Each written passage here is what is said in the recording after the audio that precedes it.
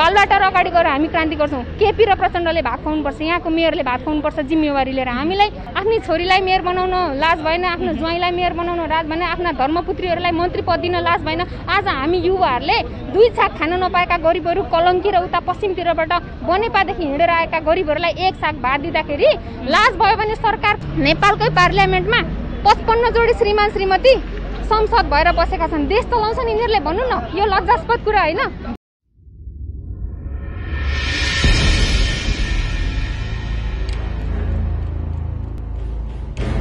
दर्शकबिन हामीसँग समाजसेवी साथै एकदमै राम्रो लेखिका पनि हुनुहुन्छ। उहाँले विदेशमा बसेर पनि नेपालको लागि नेपालको उन्नतिको लागि अथवा नेपालमा भएको व्यतिथि विसङ्गतिको विरुद्धमा निडर तरिकाले आफ्नो प्रखर आफ्नो शब्दहरू चाहिँ स्ट्याटस मार्फत राख्ने गर्नुहुन्थ्यो र उहाँ अहिले नेपालमा पनि आउनु भएको छ। अब हामीले नेपालमै केही गर्नुपर्छ भनेर अभियसली यति भनिसक्दा तपाईँले चिनी पनि सक्नुभयो मसँग हुनुहुन्छ ज्वाला सङ्ग्रौलाजी उहाँ पनि आज यो जुन सरकारले चाहिँ निर्णय गर्यो यो जुन खुल्ला मञ्चमा खाना खुवाउने प्रोग्राम छ। यो चाहिँ बन्द गरिनुपर्छ भनेर यो निर्णय गर्यो यो निर्णय गरिसकेपछि आज बिहानै उहाँ पनि यो स्थानमा आएर उहाँले सपोर्ट गर्नुभएको छ।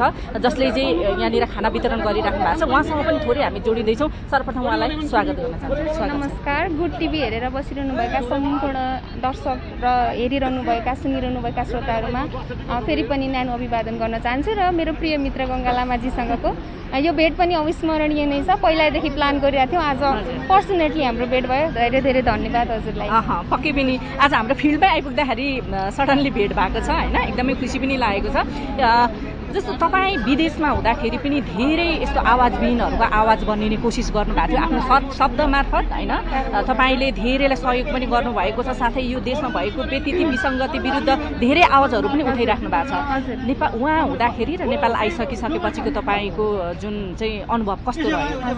अब हामी कस्तो हुन्छ भने चाहिँ विदेश गएको युवाहरूलाई चाहिँ विशेष गरी त्यहाँको विकास त्यहाँको अनुशासन त्यहाँका नेताहरूको एउटा राजनैतिक चरित्र देखेर पनि मेरो देश पनि यस्तै भइदिए भन् हुन्थ्यो भने चाहिँ एकदमै त्यो भावना चाहिँ जसलाई हुन्छ। म सात वर्ष अगाडि नेपालमा हुँदाखेरि मलाई खासै देशको बारेमा त्यति धेरै चिन्ता थिएन अनेस्टली भन्नुपर्दा। किनभने म यही माटोमा उफ्रिएको थिएँ यही हिलो मलाई प्यारो थियो यही मलाई यही धुलो मलाई प्यारो थियो। तर आजभन्दा सात वर्ष अगाडि जब म नेपालको एयरपोर्टबाट उत्रेर जापानको नारिता एयरपोर्टमा उडेँ त्यहाँ मैले मुखमा चपाएको चुइगम थुक्नको लागि ठाउँ नपाएर घरमा पुगेर चाहिँ डस्टबिनमा हाल्नुपर्ने स्थिति आयो भनेपछि त्यहाँबाट एउटा देश चाहिँ यस्तो हुनुपर्छ भन्ने चाहिँ त्यहाँबाट चाहिँ एउटा चेतना चाहिँ आएको हो। अब देशको माया त जस्तो भए पनि अभियसली हुन्छ तर देशलाई अझै राम्रो बनाउनुपर्छ यस्तो पो देश हुँदो रहेछ भन्ने कुरा चाहिँ हामीले विदेश हामीलाई चाहिँ विदेशले सिकाउँदो रहेछ क्या। त्यसपछि चाहिँ मैले पनि लगातार देश किन बनेन भन्ने बारेमा चाहिँ सोचिरहेँ क्या। देश बन्नको लागि त असल शासक चाहिँदो रहेछ असल नेता चाहिँदो रहेछ एउटा सिस्टम चाहिँदो रहेछ। जुन सिस्टम चाहिँ मैले बाहिर देखेको थिएँ र मैले पनि मलाई कुनै पनि व्यक्तिसँग जस्तो केपी शर्मा ओली अथवा हाम्रो प्रचण्डजीहरूसँग मेरो वैचारिक व्यक्तिगत रूपमा केही पनि मनमुटाव त्यस्तो दुश्मनी होइन। तर उहाँहरूले चाहिँ नि जुन किसिमले क्रान्ति गर्नुभयो देशमा जनताहरूलाई चाहिँ तपाईँहरूलाई सुविधा दिन्छौँ तपाईँहरूको जीवनस्तर उकास्छौँ देशलाई सिङ्गापुर बनाउँछौँ यो गर्छौँ त्यो गर्छौँ भनेर जुन देशमा क्रान्ति गर्नुभयो र क्रान्तिको परिणाम दिन सक्नु भएन त्यो चाहिँ आक्रोश मैले विदेश बस्दाखेरि चाहिँ पोखेको हो र मेरो एउटै मात्र इन्टेन्सन मेरो आफ्नो व्यक्तिगत फाइदाको लागि होइन देशै राम्रो होस् समृद्ध बनोस् र हामीभन्दा पछिको जेनेरेसनले पनि त्यो देशमा सुख शान्तिले बस्न पाओस् भन्ने उद्देश्यले चाहिँ मैले लेखिरहन्थेँ। ओके तपाईँले लेखिराख्दाखेरि तपाईँलाई धेरै प्रहारहरू पनि हुन्थ्यो। तपाईँको चरित्र हत्या गर्ने कोसिसहरू भयो कति ठाउँमा होइन? कति ठाउँमा प्राइभेट गरिएको कुराकानीहरू बाहिर लिक गरियो होइन? सबैतिर चाहिँ सञ्जालभरि छरपष्ट पारियो। कतिपयले चाहिँ नेपाल आइस भने तँलाई यस्तो गर्छु भन्ने खालको धम्कीसम्म आए। त्यो सबै कुराहरू नेपाल आइसकिसकेपछि चाहिँ पाउनुभयो जसले धम्की दिनुभएको थियो उहाँहरू तपाईँसँग अहिले टचमा हुनुहुन्छ अथवा तपाईँलाई त्यस्तो खालको कुनै त्यस्तो धम्कीहरू फेरि आएछ? यस्तो हुन्छ एउटा पब्लिक फोरममा आइसकेको मान्छेलाई चाहिँ गाली पनि आउँछ ताली पनि आउँछ। मान्छेले त्यो सबै कुराहरू सहन सक्नुपर्छ। तर जब मान्छे चाहिँ कोही व्यक्ति जस्तो अब मलाई दुई चारजना साथीहरूले मेरो सपोर्ट गर्नुभयो मैले अलिकति थोरै एउटा जनताको माया पाएँ लोकप्रियता पाएँ भनेर जो जो व्यक्तिहरू मे मेरो चरित्रमाथि उत्रिनु भएको थियो मलाई यहाँ एयरपोर्टमै काट्ने मार्ने धम्की दिनुभएको थियो उहाँहरू त म आइसकेपछि त दुलोमा बस्नु भएको छ। दुई चारजना मान्छेहरू दुलोमा बसेर स्ट्याटस लेख्छन्। मैले त भनि पनि सकेको छु। मेरो विचारसँग विमति राख मेरो सिद्धान्तसँग विमति राख तर खबरदार मेरो चरित्रमा उत्रने कोसिस गर्यो भने चाहिँ म तिमीलाई ठेगान लगाउँछु भनेर मैले भनेको थिएँ र केही व्यक्तिहरूलाई ठेगान लगाउने म सिलसिलामै छु। म त्यो फेसबुकमा लेखेर कसैसँग झगडा गर्न चाहन्न किनभने मेरो बारेमा दस व्यक्तिले दस कुरा लेख्ला म उनीहरूको दस कुराको पछाडि लाग्यो भने मेरो भिजन त सकिन्छ नि त। म त यहाँ व्यक्तिसँग लड्न आएको होइन नि त। म त देश राम्रो होस्। सबै युवाहरूलाई समेटेर एउटा राम्रो सिद्धान्त बनाऊ भिजन बनाऊ र यही लिडरसिपलाई पनि अझ स्ट्रङ बनाऊ। यसलाई सक्कौँ यसलाई ध्वस्त गरौँ। यो सरकार पल्टाउँ भन्न आएको होइन। सरकारलाई खबरदारी र चुनौती मात्रै हो नि त हाम्रो त। त्यसले गर्दा अब हजुरले भने जस्तो मलाई एयरपोर्टमै समाचाउने यो सब भन्ने कुरा हुन्। जसले भन्छ नि त्यसले गर्न सक् सक्दैन किनभने एयरपोर्टमा समात्ने कानुनी कारवाही गर्ने भन्ने कुरा एउटा प्रोसेसमा हुन्छ। कुनै व्यक्तिले आरोप लगाए जस्तो सजिलो छैन नि त पुष्टि गर्न त। फेक आइडी बनाई यस्तो गरी उस्तो गरी भन्नेहरूले प्रमाण दिनु पर्यो नि त। भोलि मैले अदालतमा उभ्याउँदाखेरि उनीहरूले प्रमाण दिन सकेनन् भने त्यसको सजायको भागीदार को हुन्छ त?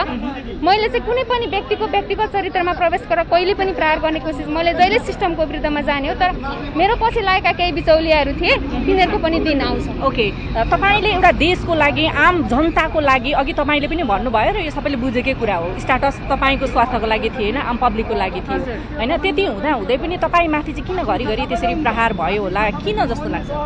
मलाई कस्तो लाग्छ भने अब अनेस्टली भन्नुपर्दा अब मलाई मान्छेले समाजसेवी चाहिँ नभनिदिउन् जस्तो लाग्छ। किनभने यो समाजसेवाभित्र कति डर्टी पोलिटिक्स छ भन्ने कुरा मैले बुझेको छु। क्या मलाई कतिपय व्यक्तिहरूले समाजसेवी भनेर नाम जोडिरहँदाखेरि समाजसेवी भनेर हाम्रो फोटो ला राखिरहँदाखेरि पनि मैले दुई चारवटा गरेको कामको क्रेडिट मलाई केही साथीहरूले दिनुभयो र मेरो फोटो राख्नुभयो त्यहाँबाट मान्छेको जलन सुरु भयो कि? हुन्छ नि एउटै वेमा गइराखेको मान्छे अलिकति कोही अगाडि गयो थोरै पपुलारिटी पायो भने यो हाम्रो ह्युमन नेचर हो त्यसमा पनि नेपालीको प्रवृत्ति। हामी चाहिँ एकदमै भावनात्मक एकदम इमोसनल छौँ परेको ठाउँमा सहयोग पनि गर्छौँ तर अलिकति मान्छेको प्रगति चाहिँ देख्न सक्दा रहेन रहेछौँ क्या।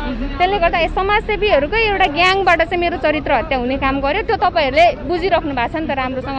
म त म समाजको सेवा गर्छु भनेर आएको मान्छे त थिइनँ नि त। हिँड्दै गर्दाखेरि दुखी पीडितहरू भेटे दुई चार पैसा दियो अथवा अभियान चलायो अथवा लेखेर सपोर्ट गर्यो त्यो चाहिँ मान्छेहरूले हेर्न सकेनन् क्या। त्यही हो मेरो। नत्र भने मेरो बाउको उमेरका मेरो आमाको उमेरकाहरूले मेरो विरोध गर्ने होइन नि त। मलाई त हौसला दिने हो मलाई सपोर्ट गर्ने हो। मैले गल्ती गरेको छ भने नि मलाई पर्सनली सम्झाउने हो नि त। मेरो विचारमाथि प्रतिबन्ध लगाउने कसैले लेखिका भन्ने कसैले प्राइभेटमा भएको कुराहरू चाहिँ नि फोटोको मात्रै लगेर अरू अरूलाई ट्रान्सफर गर्ने। यहाँबाट समाजमा कति घृणित चरित्र बोकेका मान्छेहरू छन् भन्ने कुरा त तपाईँले नि प्रत्यक्ष रूपमा बुझ्नु भएको छ नि त। अब तपाईँ नेपालमै केही गरौँ भनेर आइपुग्नु भएको छ। हुन त दर्शक पनि अलिकति म अवगत गराउन चाहन्छु। यो हामी बेग्लै स्थानमा छौँ तर पनि उहाँसँग पहिलो भेट भएको भएर मेरो मनमा धेरै कुराहरू थियो। अभियसली मेरो मात्रै नभएर यो आम पब्लिककै जिज्ञासाहरू थियो होइन? सो त्यो भएको भएर मैले यो प्रसङ्गवश कुराहरू राखिहालेँ। हुन त हामी यो हुन्छ नि खाना वितरण गर्ने प्रोग्राममा छौँ। यो विषयमा पनि म अहिले आउँछु। तर यो क्वेसन चाहिँ मलाई गर्न मन लागिहाल्यो। तपाईँ नेपाल आउनु भएको छ केही भिजन लिएर कसरी अगाडि बढ्दै हुनुहुन्छ के गर्दै हुनुहुन्छ? अहिलेसम्म के के पाउनुभयो यहाँ? अब जस्तो विदेशमा बसेर हामीले जुन नेपालको परिकल्पना गर्छौँ जसरी नेपाल परिवर्तन गर्ने सोच राख्छौँ नि त्यो चाहिँ पक्कै यहाँ फिल्डमा आएर खट्दाखेरि त्यो निकै गाह्रो विषय हो। किनभने एउटा विचारले एउटा सिस्टम परिवर्तन गर्न धेरै समय लाग्छ। एउटा माओवादीले पनि एउटा देशमा क्रान्ति ल्याउन दस वर्ष सङ्घर्ष गर्नु परेको थियो। त्यो दस वर्षको सङ्घर्षमा कति जनताहरू निर्दोष जनताहरू मारिए होइन कति अब लिडरसिप गर्ने जस्तो प्रचण्डजीहरूले पनि एक किसिमको पोलिटिकल टर्मोइल ल्याउनको लागि त देशमा त एउटा क्रान्ति गर्नको लागि दस वर्ष बस्नुभयो। म त एउटा सानो विचार बोकेर आएको मान्छे मेरो सानो विचारलाई के हुन सक्ला भन्ने त एउटा आम पब्लिकको सोचाइ हुनसक्छ। तर समुद्रमा एउटा सानो ढुङ्गा हान्यो भने त्यसले पनि निकै छाल तरङ्ग परि उत्पन्न गर्न सक्छ। म त्यो तरङ्ग चाहिँ बन्न सक्छु जस्तो लाग्छ मलाई। र अर्को कुरा अ, नेपाल आएको छु।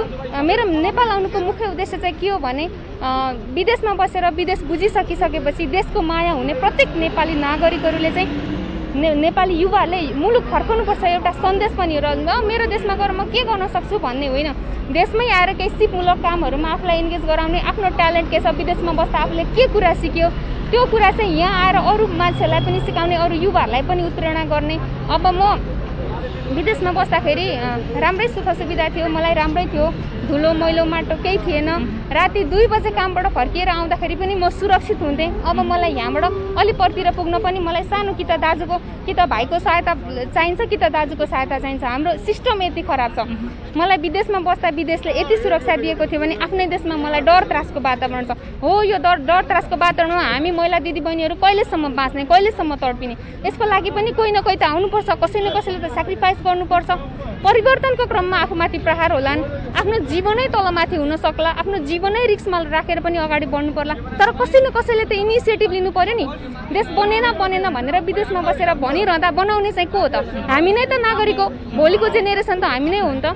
यहाँ नेता हुन अथवा राजनीति गर्न भनेर चाहिँ आएको पक्कै पनि होइन। तर यो देशमा केही परिवर्तन गर्न मेरो पनि के भूमिका हुनसक्छ भनेर त्यो भूमिका चाहिँ म खोज्दै आएको कतिको सहज छ? किनभने यहाँ हरेक कुरामा खुट्टा तान्ने प्रविधि त त्यो आम सबैलाई थाहा भएकै कुरा हो होइन? अब तपाईँको भिजनलाई अगाडि बढाउनको लागि कतिको सहज देख्नु भएको छ हजुरले तर मैले चाहिँ एउटा कुरा चाहिँ आफूले पर्सनली के फिल गरेको भन्दा सामाजिक सञ्जाल हेरेर चाहिँ यहाँ नेपालको वस्तुस्थिति चाहिँ अलिकति त्यो ठ्याक्क प्याचअप गर्न चाहिँ अलिकति त्यो नमिल्ने कुरा हो कि? जस्तो सामाजिक सञ्जालमा केही काम गऱ्यो भने खुट्टा तानेर आउँछन् तर यहाँ म फिल्डमा आइराख्दाखेरि मलाई यहाँ नेपालमा भएको दाजुभाइ दिदीबहिनीले यति माया गर्नुभएको छ यति सपोर्ट गर्नुभएको छ। सञ्जालभन्दा बाहिर पनि अर्को दुनियाँ रहेछ है भन्ने चाहिँ मैले पर्सनली फिल गरेँ म त्यो कुरामा त खुसी छु। अब सामाजिक सञ्जाल भनेको त मान्छेको विचार अभिव्यक्ति राख्ने एउटा प्लेटफर्म हो। त्यहाँ राम्रो मान्छेहरू पनि हुन्छन् नराम्रो मान्छे पनि हुन्छन्। राम्रो मान्छेले राम्रै सोच राख्छ नराम्रो नेगेटिभ मेन्टालिटीबाट मुभ भएको मान्छेले चाहिँ न त नकारात्मक सोच राख्छ।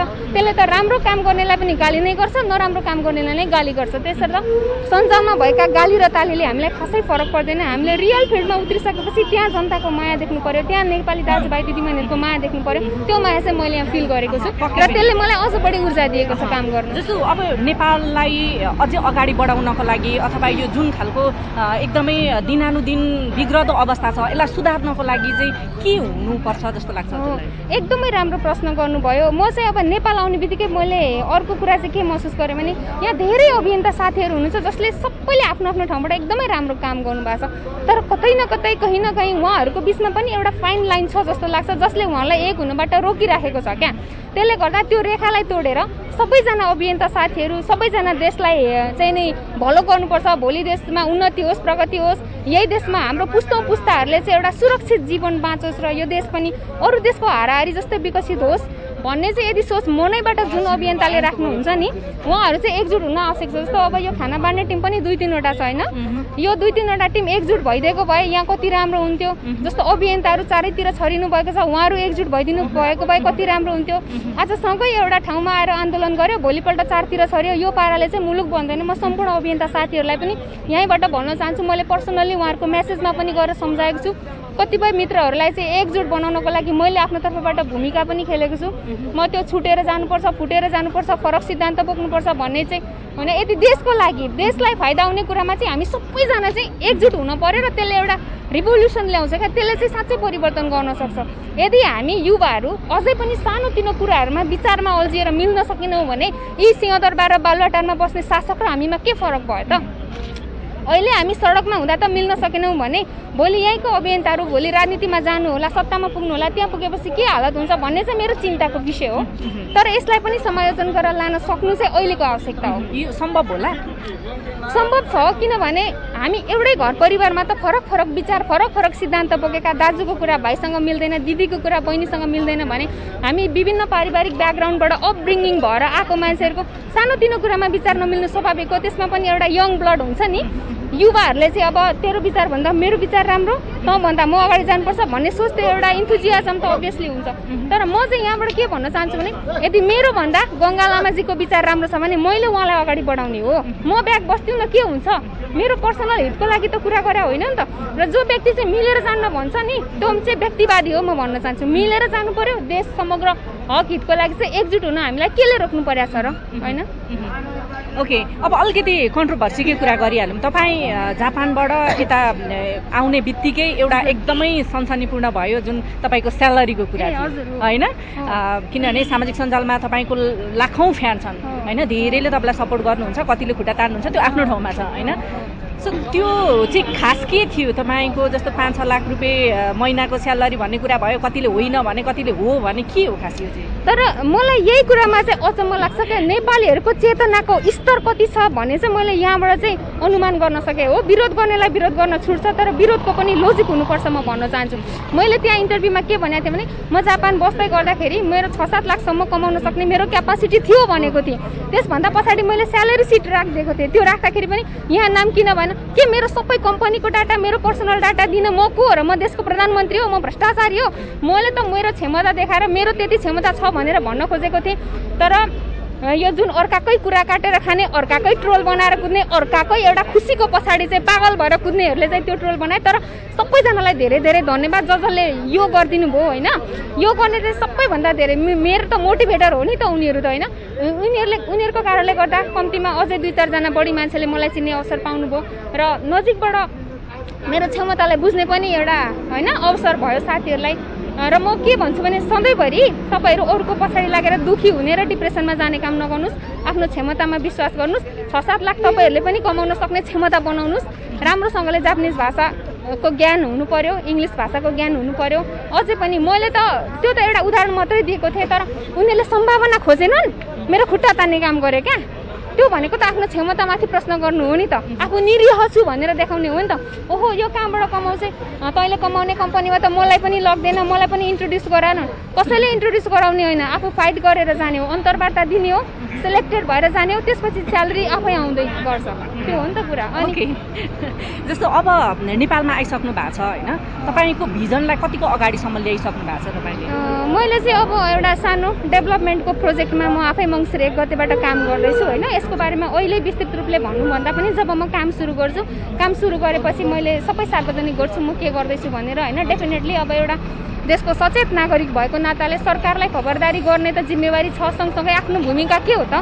म नागरिक भएर नागरिकको लेभलबाट यो देशलाई गर्न सक्ने योगदान के हो त? त्यो बारेमा पनि हामी युवाहरूले सोच्नु जरुरी छ। सधैँभरि हामीले अरूको पछाडि लागेर सधैँभरि अरूको आश गरेर सधैँभरि अरूको हात थापेर अथवा सधैँभरि अरूको कुरा काटेर मात्र देश बन्दैन। राम्रो काममा सरकारलाई सपोर्ट गर्ने हो।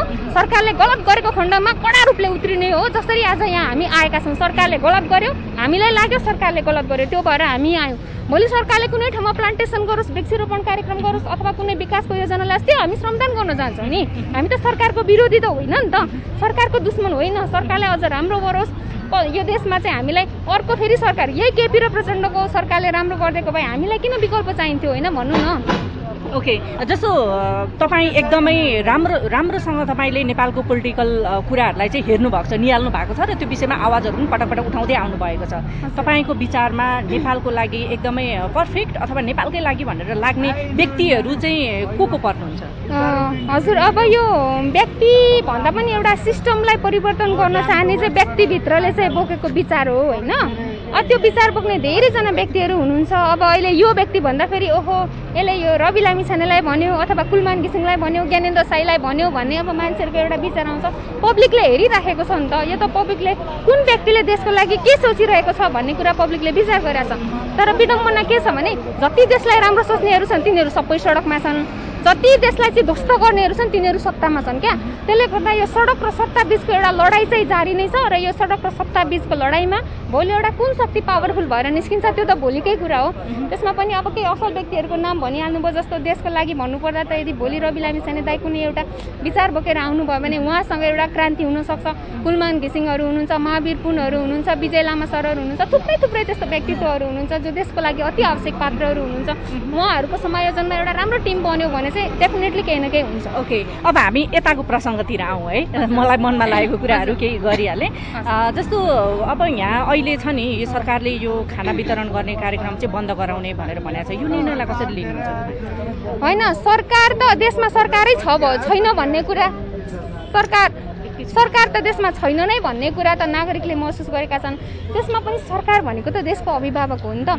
देशको अभिभावकले चाहिँ यस्तो सङ्कटकालमा अथवा कुनै पेन्डामिक भइराखेको बेलामा उसले आफै इनिसिएटिभ लिएर सबै नागरिकहरूको व्यवस्थापन गर्नुपर्ने ठाउँमा खाना खुवाउने युवाहरूलाई पनि तिमीहरू खाना नखुवा है भनेर प्रतिबन्ध लगाउन खोज्छ भने योभन्दा निरङ्कुशता देशमा के हुन्छ?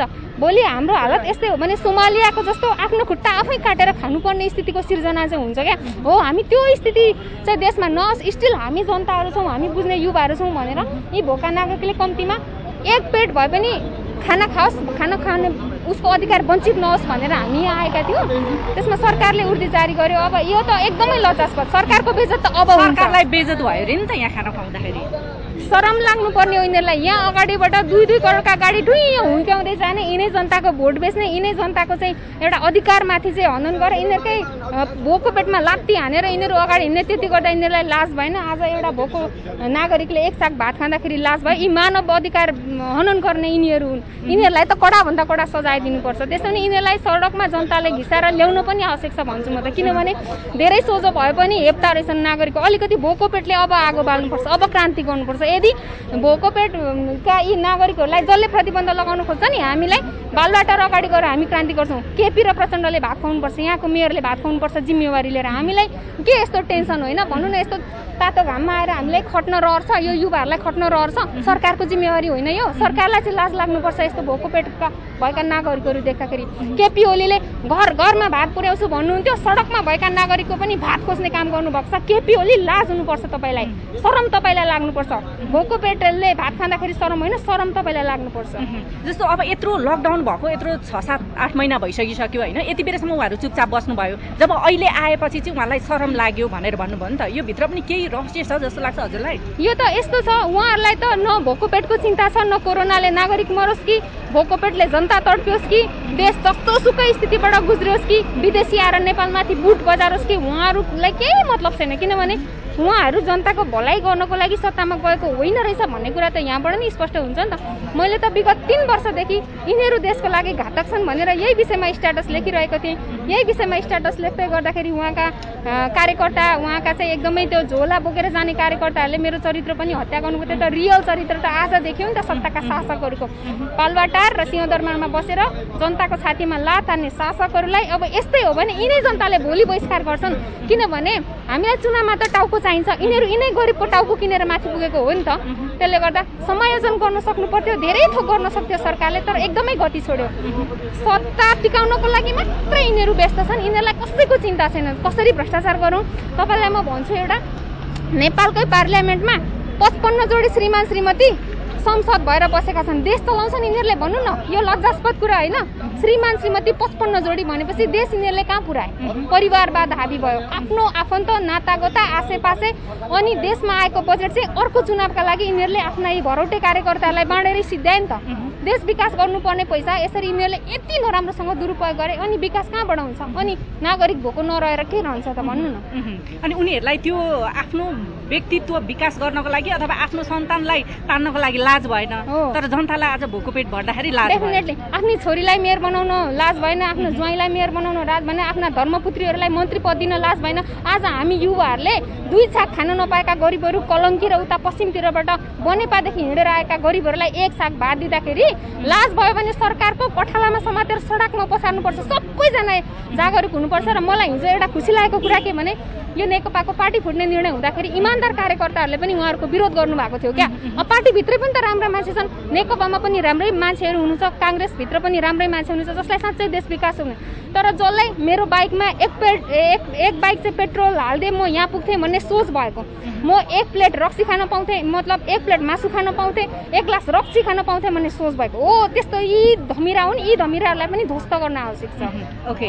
जस्तो अब तपाईँको साथ सपोर्ट रहनेछ यहाँ भोलि सरकारले यो खाना वितरण गर्ने. प्रोग्राममा हस्तक्षेप गर्न आयो भने तपाईँ पनि अगाडि म त आज नै पनि नगर प्रहरी खटाउँछ भनेर म आएको थिएँ। नगर प्रहरीले कसरी खटाउँदो रहेछ? हामी यी सारा जनताहरूलाई टिपेर गाडीमा राखेर हामी मेयरको घर लानेमा हाम्रो विमल भाइ पनि यहीँ हुनुहुन्छ होइन? हामीले त जे होस् उहाँले त निस्वार्थ रूपले सेवा गरेको न नेता बन्नलाई हो। न उहाँले चाहिँ कुनै एउटा पोलिटिकल मोटिभ राखेर गरेको हो। होइन निस्वार्थ सेवा हो नि त यो। निस्वार्थ सेवामाथि यसरी सरकारले प्रतिबन्ध गर्छ भने त क्रान्ति हुन्छ नि त। विचारको क्रान्ति हुन्छ। त्यसले गर्दा चाहिँ अब हामी सबै मिलेर यो अधिनायकवादी सरकारको गलत क्रियाकलापको खुलेर किन डराउने? जेल लैजाऊ नेल लैजाऊ। भाटा हान हामीलाई मतलब छैन। हामी युवाहरू अब चुप बस्ने छैन। ओके ओके अब अन्तिममा के भन्न चाहनुहुन्छ तपाईँ? अब अन्त्यमा म फेरि पनि यो सरकारलाई भन्न चाहन्छु सरकार सक्छस् भने राम्रो काम गर सक्दैनस् भने राम्रो काम गर्नेहरूलाई चाहिँ प्रतिबन्ध लगाउन नखोज। यहाँ क्रान्ति हुन्छ। भोलि सरकार ढल्छ। यिनै भोका नागरिकहरूले सत्ता ढाल्छन् र मेरो भनाइ पनि यति नै हो। ओके। हस् तपाईँको अमूल्य यो भनाइ र त्यस्तै गरेर समयको लागि धेरै धेरै धन्यवाद। हस् हुन्छ। सबैजनालाई धेरै धेरै धन्यवाद र फेरि पनि हामी सबै युवाहरू एकजुट भएर आवाज उठाउँ बोल्न नडराउँ किनभने जब तपाईँ डराउनुहुन्छ जब तपाईँ कुनै कुराहरूबाट चाहिँ त्रसित हुनुहुन्छ तब तपाईँ चाहिँ कुनै एउटा पिन्जराभित्र आफूलाई चाहिँ राखेको फिल गर्नुहुन्छ। व्यक्तिको स्वतन्त्रता भनेको सबैभन्दा महत्त्वपूर्ण कुरा हो। आफ्नो स्वतन्त्रताको भरपुर उपयोग गरौँ र आफ्नो स्वतन्त्रताको उपयोग गर्दै गर्दा अरूको अधिकारमाथि पनि हनन नगरौँ। यति भन्न चाहन्छु। हस् हस्। हस् थ्याङ्क यू